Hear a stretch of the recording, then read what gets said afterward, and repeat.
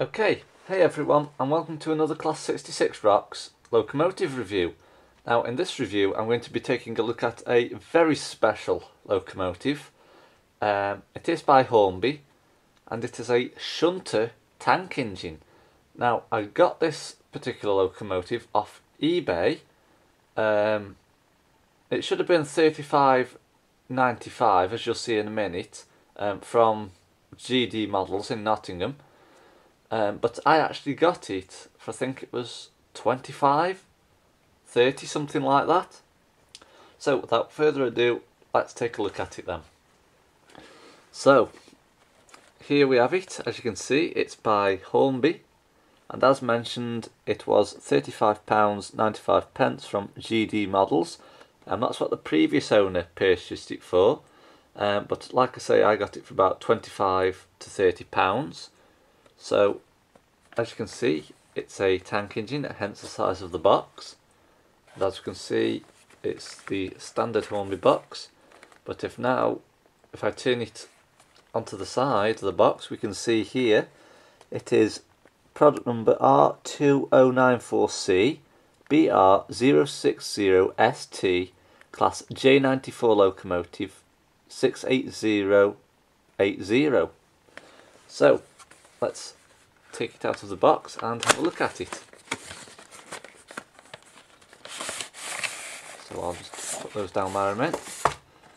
So as we can see here, um, we just have the image of the locomotive on the insert. I just thought to show you that a bit closer up. So the first thing that we have with this particular locomotive is the operation and maintenance instructions as we can see. Um, just tells you a bit about running hints, a bit of track cleaning. Um, it also tells you about how to replace the locomotive motor as well as lubrication etc. I'm not too sure if this particular model is DCC ready or whether I've got to hardwire it um, but once we've moved house um, then this will be featuring on the new house layout. So that's them out of the way. So here we have it, the J94 shunter, and does that, that looks absolutely amazing actually. And I've been after one of these for quite some time, so I was quite pleased to get it at such a reasonable price. So, as you can see, it's the whole old there, the old style Hornby foam box packaging. But on the back we have a hole there, so I'm going to put my finger through there and slowly push the locomotive out. So I'll just try and grip this like so. Ah, I'll just take that out and as you can see there was also a bit of tissue paper in there as well protecting the locomotive from getting damaged. So here it is, the Hornby J94. As you can see, it's a small shunter tank engine. It's not too light, it's not too heavy, so it's in between. Um, so the more weight it has to it, the better haulage capacity it'll have. Um, I'm going to be using this on the new house layout for shunting trucks and carriages, etc. Um, as I once saw one at the Churnet Valley Railway years ago, and I mean years, looking like 2000 and something. Um, it was shunting some carriages, some maroon ones actually, up and down the line. I think it is actually a matte finish, but looking at it, it actually looks quite glossy. Or that might just be my lighting in my room. Um, but if you think it's matte or gloss, feel free to comment below.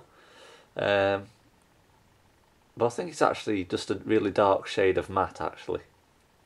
So let's start with the front of the locomotive then.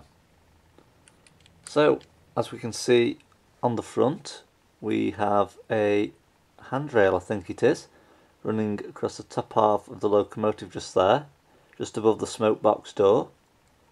Um, unfortunately the smoke box door doesn't actually open but I think on is it Bachmann or some Hornby they do as we can see, we have the locomotive number 68080. So moving down now, we can see we have round sprung loaded buffers, which is a lovely feature to these types of locomotives um, because you can run them with other sprung buffered rolling stock, for example. So as we can see, we have the old style of Hornby coupling, but what we do is we take these off and we're going to put an NEM pocket coupling on, um, as most of my rolling stock is NEM couplings, so we're just going to modify the coupling a little bit. So moving the locomotive round to the side now, we can see running across the top half of the bodywork again, I think it's a handrail, um, but if you do know, please leave your comments below. As we can see, there we have the British Railways large logo, and underneath that, in white, or it might actually be cream, is locomotive number 68080. So as we can see, we've got three wheels on either side of the locomotive. If I just do that, you can see there. But the detail on these coupling rods is absolutely fantastic and it is such a smart little locomotive as well. I'm actually quite pleased with how it actually looks. So moving across now, we can see if I could just turn that, we might actually have some detailing inside that cab just there um, but the camera is actually struggling a bit to pick that up. But what I might actually do is I might put a fireman and an engine driver in there um, to make it look a bit more realistic because that's what most people seem to do these days and, and we have done it to other locomotives as well which you will see featured on the new house layout once we've got it built. Um, because I'm not waiting till we start working on the scenery before I start putting videos back up at the new house. Um, because I want to be able to get these locomotives running again because it's been nearly um, I think it's about eight months now since I last ran locomotives and what I'm thinking of doing if the house move's going to take longer than anticipated is I might get a Hornby train set just with a bit of track and a controller and set it up in my room and just run locomotives on that just for a short video just to get them shown again. But the house move is in the hands of the estate agents so I'm just going to have to leave them to it unfortunately so back to the review so as we can see here we have some coal on the back half of the locomotive and the is it the coal box I'm not too sure what they're actually called, but if you do know, please leave your comments below. Now usually these little cab roofs here on the top usually slide, but this particular model doesn't.